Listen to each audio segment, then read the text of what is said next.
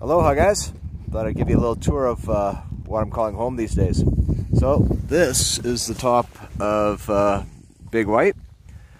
These things here, they're actually they're trees. We call them snow ghosts. So they're all encased in ice and snow.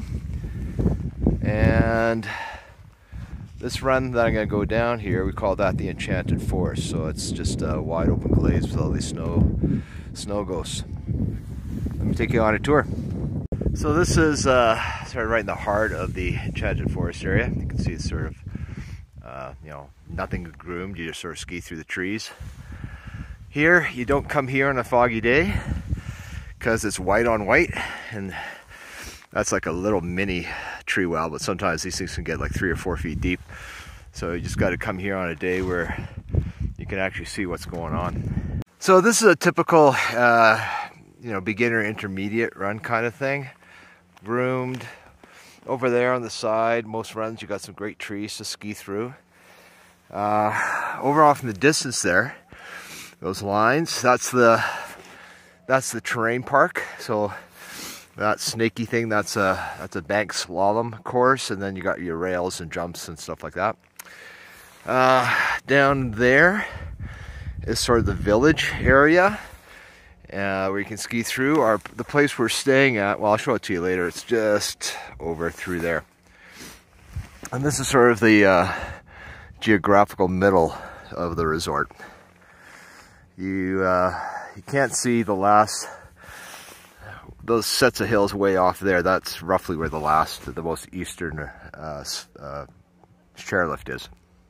So today's the Sunday. It's actually New Year's Day. Happy New Year's, everyone. And this is kind of a typical lineup on a weekend. It can get a little bit longer than that. Midweek, I basically just uh, ski right on. Okay guys, so this is the uh, the cliff area. sort of a black diamond, double black diamond kind of stuff at the top. You can see it's fair, quite steep. Um, that's the chairlift down there with nobody there because uh, typically nobody sees skis here. That's Ronda Lake. It's a source of water, and uh, in the summertime it's quite pretty, but way too cold to, to ski. I'll take another shot so you can see this big bowl area later on. It's really quite pretty. All right, so this is the bowl area. You can see somebody coming down there. So all that stuff is that double black diamond kind of stuff where people are sort of jumping into and taking the chutes. Uh, this this actually gives you a fairly good idea of, of this, you know, the pitch a little bit. That's not as steep as that stuff. That stuff is super steep. That's this is the East Peak where they're hoping to put in another lift, so you can access. Uh, like right now, the more adventurous they'll ski the top of that ridge down to that, hike up to that in order to ski that to get down to the bottom. All right, so I'm getting close to the top of the uh, the cliff. Gives you a little bit better idea. So you can see over there, some guys have gone through the one of those chute kind of things. Uh, I'll give you a better idea as to how steep that this is. These guys are just about ready to drop in. Now, and down he goes. That gives you a bit of an idea. All right, so this is pretty much the tippy top of the resort. You can see, you know, if you want to get into some of these bowls here, people just uh, duck the rope, ski through those snow ghosts. Oh, way over there, that's the falcon chair. You can kind of kind of see they got a whole lot of work to do. A whole lot of work to do knocking off the ice off the chairs on that thing. But this is one of my favorite areas to ski. Just uh, it's fairly wide open lots of powder. So this is the Whitefoot Bowl area. You can see, I mean, it's an afternoon, only a few people have gone down through here. Fairly wide open. Nice powder. So this is the uh, learning beginners area. You can see they're just sort of standing on a carpet. Well, here, you can see it better. So this is the real beginners area. So this is called Happy Valley. So beginners area, you see guys sliding down the tube there. They walk, they uh, stand on that conveyor belt to go to the top and then they slide down. Uh, into the trees over there, that's where the cross country skiing is. and the snowshoeing and the dog sled.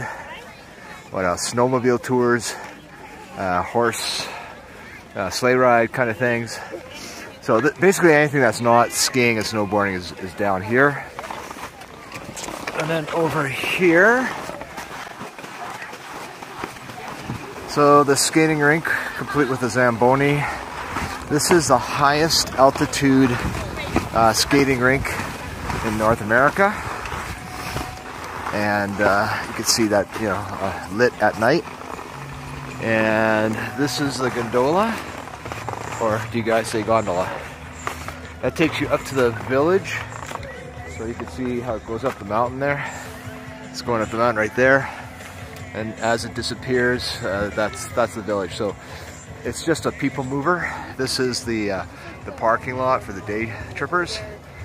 So they would park here, get on the gondola, and then uh, from the village you can get anywhere.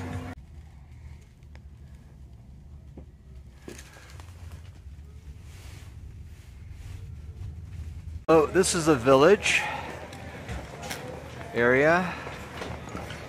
The top of the gondola, a bunch of buildings, dining. This is uh, so this is my job. I'm a snow host. It's a fancy word for a ski guide. So this is where we meet our guests and we ski them all over the mountain, show them, show them how to get around. Some more of the village. All right, so this is just uh, another shot of the village. There's that clock tower thing. Just looking from the other direction. It continues on that way. And then I am staying just around the corner. So I just got to ski underneath this, uh, this, this road here.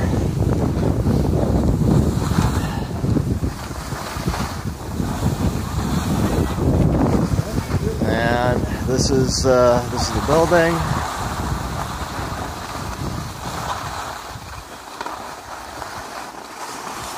And this Happy is New Year. Happy New Year, everybody.